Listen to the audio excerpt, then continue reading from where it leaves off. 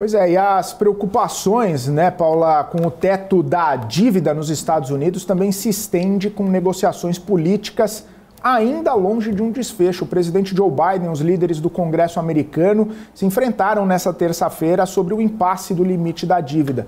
Porém, eles fizeram uma reunião que acabou sem nenhum tipo de avanço. Executivo e Legislativo concordaram em se reunir novamente ainda nesta semana para tentar chegar a um acordo e evitar o risco iminente de um calote sem precedentes do governo americano. Apesar de não terem avançado no tema, a Casa Branca informou que as negociações foram produtivas, embora o presidente da Câmara, Kevin McCarthy, tenha dito que não viu nenhum novo movimento para resolver esse impasse. O presidente Joe Biden disse que o país pode evitar um default e o não cumprimento das obrigações dos Estados Unidos e que isso não é uma opção.